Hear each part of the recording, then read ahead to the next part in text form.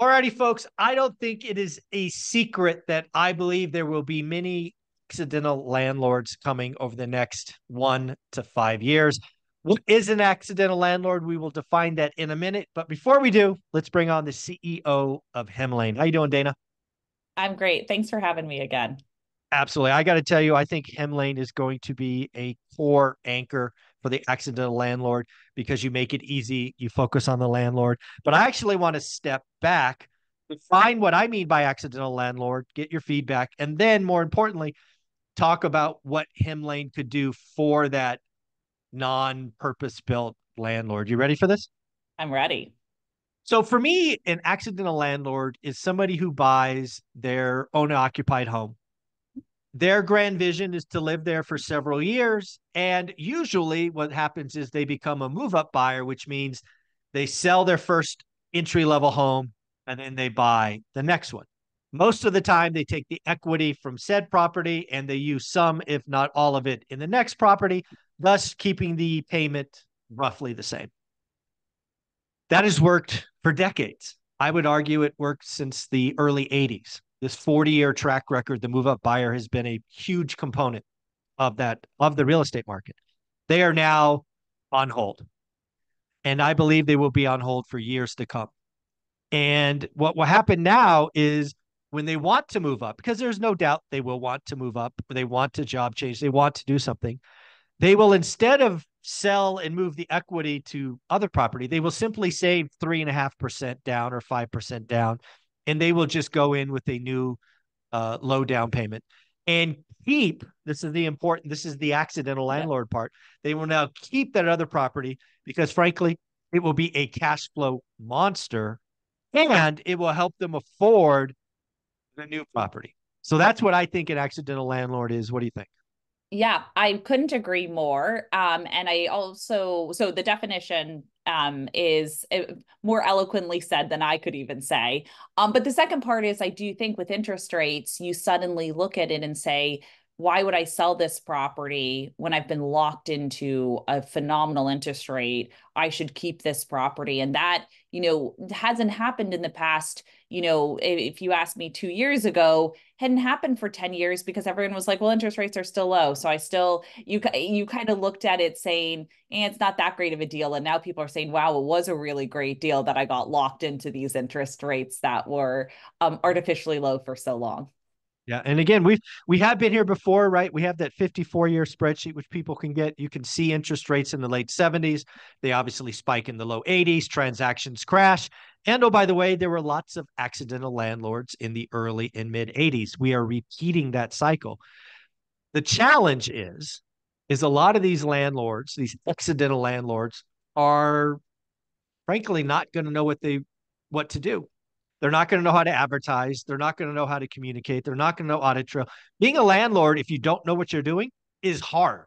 I would argue it's hard even if you know what you're doing. So I think one of the things because of the mobile devices, because we are ha- uh, having purpose-built apps for landlords, that Hemlane's going to really smooth that transition. So I'd love you to define when you kind of break it down. What are the, what are the things that Hemlane can provide that accidental landlord? Yeah, definitely. Um, so, and before I jump into what we can provide, one of the things that I want to bring up with landlording that I hear so often is uh, people almost dream or kind of have this like um fantasy that everything will be okay when they um start uh renting out their property. And so if you're not in it every day like us to say how do you mitigate risk, you probably don't see anything that's gone wrong because you as a renter you paid your rent every day on time and then you moved up and purchased a home.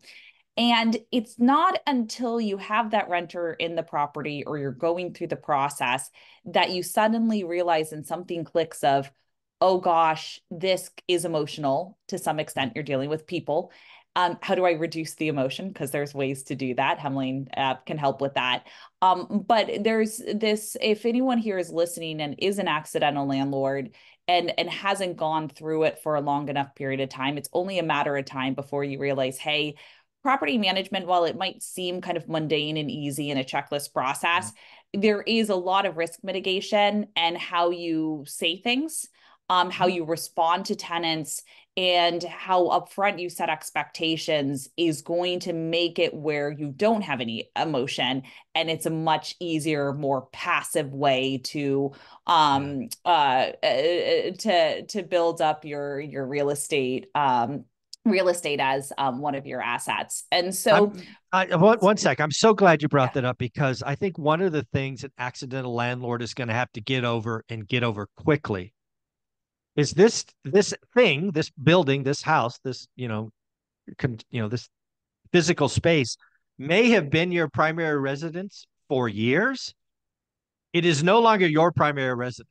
Someone else, some other family is living there, and I guarantee you, they won't treat it the same way.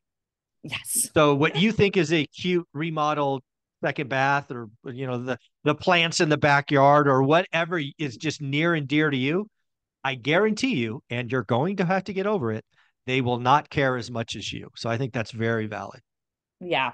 And and that's actually brings me to my first point of rent estimates and like when you get started, we have a mm-hmm. free rent estimate tool so you can go on there and see all the properties in your area, what were they rented for? Um, you know, bedrooms, um, bathroom square footage, all of that. Tenants weigh themselves lean more towards how many bedrooms does it have um as like their primary factor and how much does it cost? But the reason that is so important is every landlord, including myself, especially with like of my primary residence, thinks it's worth more than it actually is. And here is why you've done certain things to that property that have made you emotion emotionally attached because you Correct. lived in it. So I might, you know, in my backyard have um, vegetables, right? And say, this is, wouldn't someone want to live here? That a neighbor's place yeah. doesn't have a vegetable garden. Uh, but uh, tenants are not going to value that. Maybe that's some quirky thing that you that could value. be a negative, frankly. Uh, yeah, exactly. There's more work for them to to maintain that, and so there's certain things that you have to think about. It's such a good investment, especially if you're locked into that interest rate. You can cash flow it right away, but there's certain things you just have to let go of. You have to let go of, to Michael's point, that the tenants are not going to treat it the same way that you did. There are certain decisions you might make of um, what you rip out in the place or what you say, hey, this will be damaged more so than when I lived here. Um, that's going to go into it. And then the, the kind of worst I've I've seen is when someone says, "Oh, but this furniture, this piece of furniture fits exactly here, so mm. I'm not going to bring it to my old house." I hear this all the time from accidental landlords. Yeah, this furniture fits, so I'm going to keep this here and you know the tenants are really going to value it no it's going to get destroyed i always say if there's any furniture that you don't want thrown away don't put it in your rental yeah. and it's almost an inconvenience to the tenant because they're like we have our own stuff now we've got something taking up space here that might not be their design like mm-hmm. their mm-hmm. own um how they want to design the place and so it's just really important to take a step back and say what can this actually rent for this is now an investment it is not my primary residence. So it's not something that I should be emotionally attached to how um, well they maintain it. I'm going to be very objective with it, that it should be in the same condition upon move in, with the exception of normal wear and tear. But they're not going to be sitting there repainting every little, you know, mm-hmm. nook and cranny when there's a scratch or anything like that. Yeah. Yeah, I think there's a lot in that. The other thing that I would tell an accidental landlord is if you've if you've added color to your walls or accent walls that you just are dreamy about. It's your favorite color, it's your wedding color, whatever. Uh, you might want to go neutral. You might want yeah. to go more neutral, and and uh, j- again, just realize this is uh, it's not yours anymore. Well, it's yours, but it's not yours, if you know what I mean. So another family is going to be there. So yeah, there's a lot of just this separation. It's it's gone from your home to a rental asset, and and you really do have to look at it differently. Yeah, and use the same color throughout the house yep. because it simple. makes it so much easier for your painter to say like, wait, it, which off-white color was this room yeah. versus this room, and that way when you Amen. repaint one wall, you just eh, your garage has literally that. Every house paint. I have is the same. Every single one is the same interior color, same exterior. It's I'm that boring. Yeah. So you're so right. Yeah. Yep. Yeah. So so again, you're changing emotions. You're helping them understand rents uh, you're getting you're kind of decluttering. You know, you're not leaving furniture there. The, the next thing I think about Hemlane uh, that would really help the kind of accidental landlords is advertising. Yeah. Because again, that new landlord is like, they may know they may Google, you know, where to advertise a rental unit or whatnot. But Hemlane really has kind of simplified that for, for everyone, let alone accidental landlords. Yeah, so we'll advertise. It's interesting because as as a landlord, every landlord, I always it's always based on how old they are that they have a certain because of when they rented. Ah, whatever website they used when they rented is always the one I hear about. And so it starts with like Craigslist. Oh, well, Craigslist is the place where all the tenants are looking. And and then the next like wave of the next generation is like, oh, it's you know, PadMapper and HotPads. That's where everyone's renting. Even heard those. Be, I'm old. When I was looking for rentals, PadMapper was where everyone went. And so it's really interesting because it's based on your generation that you think this is where you should list your property. We spend every day looking at, hey, we'll syndicate out to all the listing websites. Which ones actually get inquiries? Where are tenants actually hanging out and trying to find a rental? And then we obviously prioritize those of those feeds are real time. How quickly can we get them on there? And what's interesting is the top um, uh, 10 websites, well, it's really actually the first seven and eight, get you 96% of tenant inquiries. Now mm-hmm. we have all the other ones listed there just in case there's one or two leads that come right. from them or that some landlord comes to us and I was like, well, why don't you list on PadMapper? It's like, oh, well, we do. But when you look at the actual data, it's um, the top seven that will really get you most of that traction. And so the reason that I bring that up is you don't have to think about that. With a click of the button, we will publish that out and just help you from that perspective with it. Um, and then another important point when you go through the advertising process is we want to make it very professional as if you had a property manager guiding you through it. And let me give you some examples of that. Pets. There is such thing as pet rent there's such thing as pet deposits. There's some places like colorado where you have to limit how much you could charge for that. And so as we go through it it's not our goal to make the decisions for you. Every single landlord eh, should be empowered to make the decisions themselves. However we give you the tools and resources to let you know here is how we look at pet rent and pet deposits, pros and cons of everything, read through it. Here's what averages we see nationwide. However, in your area, you're going to want to look to see what others are charging. And then here are some limitations on the state level um, that you may want to be privy to. And in uh, many states, and I think a lot of states are moving this direction, any fees that you charge need to be in the listing. So you hmm. can't like just advertise the rental rate and then the tenant goes to sign the lease and you're like, and I added pet rent and I added a pet deposit and all these things. And so we're helping make sure all of that is in your listing description. And it's just a much better way to not have emotion get involved or tenants get upset because they didn't know upfront what the total cost would be. Um, so that's the first one. The other is um, the AI that we use when we're advertising your property it's um it restricts things from a fair housing perspective. So there are certain things that you cannot say. You have to be very objective. You can say there's a school down the street that ranks you know um number 7 in the state right? Like very objective. An elementary mm-hmm. school mm-hmm. that's number ranked number 7 according to x y and z. Um but you can't go in there and say something like it's a great family neighborhood, it's great for kids. Mm-hmm. Something like that is a fair housing violation because you're uh, basically discriminating against those who don't have kids. Mm. And and so all of that kind of stuff we put in there and then if you want to ed- be educated more at the right point of like oh what is fair housing there's a little link yeah. and you can click on it and you can read all about your state's fair housing at that moment in time and so our goal is like not to make the decisions for you but help mitigate all those risks and teach you as you go through the process yeah, I think one of the things that we haven't talked enough about and highlighted with Hemlane is your resources tab Mm. right? If you're going to be an accidental landlord again, you're you're not doing this like it wasn't your vision or plan. It just yeah. makes financial sense. And your resources tab, just to research that by state level, your little pop-ups or, or windows to get more data. That's just going to be such a way that accidental landlords kind of try to protect themselves and frankly get educated. So I think that's yeah. right in there.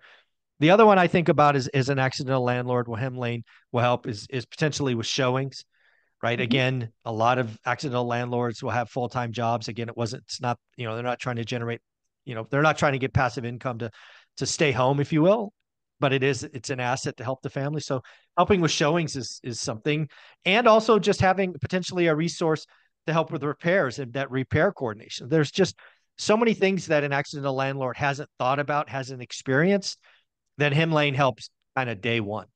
Yeah.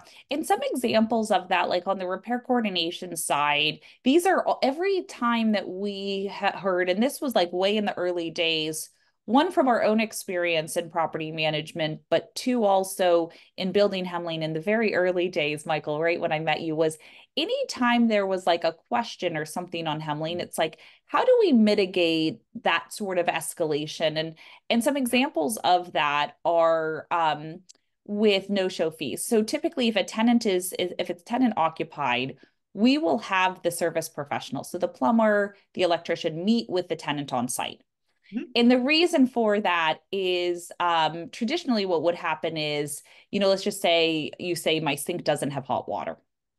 And then the property manager goes out and goes and meets the plumber out there. And then they're like, no, it looks pretty fine to us and you're paying mm-hmm. that service call fee charged back so we want the person who's actually reported the issue exactly. to be the one to explain oh no let me explain it's only between 7 a.m and 9 a.m that this happens yeah. or whatever it is whatever quirky thing that they're realizing as the pattern but with that um comes if the tenant is not there you still have to pay a service call fee oh yeah because all these vendors, unless it's a large job, they'll then esti- they'll do uh, bids on it and uh, uh, mm-hmm. an estimate for you, and usually it's free estimates. Sure. Um, but otherwise, if it's a small job, it's usually going to be under three hundred dollars. Is uh, typically how some. It depends on where you live, but what they say is a smaller job. Typically, what's going to happen is it's not going to be a, a free estimate. They're going to say there's service call, and it's either either applied towards the work being done or um, it's a service call plus we'll give you the quote of, of what it costs. And with that there have been situations where tenants will um, go through and um, or it's say yep i'll schedule it at 1 p.m on thursday and then they're not there. So as part of our process we say there will be a service call. If you are not there that cancellation fee will be charged back all these different things that make it where everyone is aligned and on the same train moving the same direction yeah. um, to just make sure it's a better experience so there's plenty of those those are like a couple of very detailed examples but what we try to do is mitigate risk and so it makes it a very smooth and easy and delightful process for you and also yeah. do it at an affordable rate yeah the one that the one that you and I, you and I talked about even you know our first conversation maybe it was our second that Olivia and I struggled with was the audit trail, right? Mm-hmm. The communication. Now, some of that's been simplified because of smartphones and emails and texts. But as as an accidental landlord, you need to know that in some areas, having a text audit trail is not enough, right? You got to document it in other ways. So uh, you're really helping clean up clean up communication, and then the audit trail of communication um, is really going to help accidental landlords, I think. Yeah, yeah, most definitely. Yeah. And then the last one I think is going to help a lot of accidental landlords is something you're rolling out more and more going forward. And that's kind of portfolio review, income mm-hmm. statements, mm-hmm. just kind of financial statements uh, around the asset. Because I guarantee you, accidental landlords have not thought about that at all. Yeah. And once you see the numbers and the data, it helps you start making much more data informed decisions of certain things. Like, for example, if you are starting to see that um, there's so many repairs for a property. Then the question is you can dive deep into that and say, what's going wrong on this property? Traditionally, it didn't have so many repairs. Certain things like that will really help you. And so, uh, yes, being able to access everything in one place is super important to us. Yeah. At the end of the day, folks, I think if you're you are or might be an accidental landlord, you should take advantage of a 14 day trial. Just get a feel because I think I think keeping an asset that produces hundreds, if not a thousand dollars in cash flow is good for you. Inflation is a feature, not a bug. You've mm-hmm. got a two or three percent interest rate fixed for 30 years. That is your asset. Keep it. And then you could use Hemlane to smooth the process, make it easier, demystify being a landlord. Uh, don't give up on being an accidental landlord just because you think it's hard. There are ways uh, to do it. Hemlane is one of those. Dana, if somebody wanted to get the trial, where do we send them? Yeah, go to www.hemlane, that's H E M L A N E dot com. But mention one rental at a time because you do get 20% off your uh, first year. So please, please make sure to mention one Yeah. rental at a time. Yeah, if you don't mention one rental at a time, you pill you pay full boat. So who wants to pay the full rate? Exactly. So mention one rental at a time, save some money. Dana, you're amazing. Keep going. Great. Thanks for having me. You got it.